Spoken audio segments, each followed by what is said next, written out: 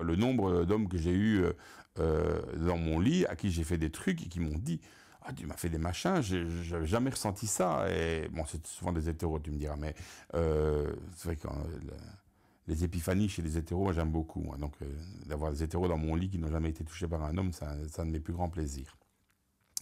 Et à chaque fois, ils ont beaucoup de plaisir, ils sont très contents, et ils en demandent par après, parce que ils pensaient que ça allait être, être étrange d'être touché par un homme, mais en fait, il n'y a rien de plus naturel, puisqu'ils sont eux-mêmes un homme. Donc, quand ils se sont masturbés eux-mêmes, qu'ils se sont touchés eux-mêmes, mais ils ont été touchés par la main d'un homme, la leur. Pour moi, la fidélité du cul n'a aucune importance. C'est la fidélité du cœur qui est important.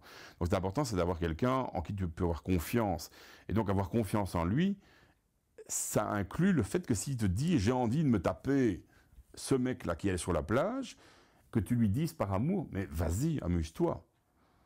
Tu sais, ouvrez, la cage aux oiseaux, l'oiseau s'envole et tu es très content de le voir revenir. Si tu penses que, que le mec, parce qu'il va se taper quelqu'un d'autre, va partir avec ce mec, c'est que tu as, un niveau d'insécurité par rapport à ton couple, mais phénoménal. Et si tu veux pas qu'il le fasse, parce qu'en fait il va prendre du plaisir que toi tu n'auras pas, alors c'est de l'égoïsme. Et c'est ça la jalousie. La jalousie, c'est un mélange d'égoïsme et d'égocentrisme et, aussi d'insécurité. De, c'est j'ai peur que tu trouves mieux ailleurs, donc je veux pas que tu y ailles. Ou je veux pas que tu ailles prendre du plaisir là-bas parce que moi, j'aurais pas le même plaisir. Donc moi, peut-être que je suis pas aussi beau que toi et que j'aurais du mal à draguer et donc je t'interdis d'y aller. Je veux que tu sois à moi, rien qu'à moi. Mais excuse-moi, mais moi, j'ai pas envie de manger un spaghetti bolognaise tous les soirs, même si j'adore la cuisine italienne. Euh, j'ai pas envie de manger italien tous les soirs. J'ai envie de temps en temps de variété. Et, ben voilà, je suis désolé, je, suis désolé pour les hétéros qu'il y ait, tu vois, cette espèce de chape de soi-disant obligation de monogamie sur leur tête.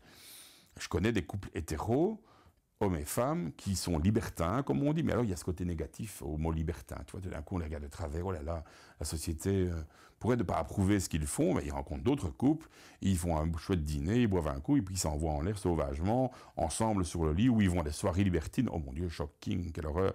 Alors directement, ça fait bordel, tu vois, ça fait partout, soirée, fine machin, euh, tu vois, ça fait louche directement chez les, chez les hétéros. Tu vois, les, les trucs où tout le monde baise ensemble, ça fait vraiment la pègre presque, tu vois, c'est ouh la drogue, machin, qu'est-ce qu'il y a? Mais non, c'est juste des gens qui ont envie de s'envoyer en l'air, c'est tout. Euh, ils mettent une capote, ils baisent dans tous les sens comme ils veulent euh, et ils s'amusent bien.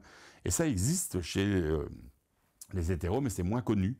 Et bah, chez les chez les gays, ça existe librement. Mais une partie des gays ne veulent plus faire ça parce qu'ils veulent projeter une image bourgeoise de couple traditionnel comme papa-maman et de dire voilà, on est, nous on est monogame, on, baisse pas avec à gauche à droite.